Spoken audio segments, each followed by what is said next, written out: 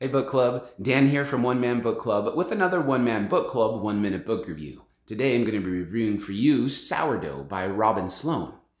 Now, Sourdough is a book that surprised me because it's a book about bread and I thought it would be boring, but I trust the author, Robin Sloan, and so I gave it a try. And guess what? It was awesome. It totally surprised me. Um, it's immensely readable and it's perfectly charming.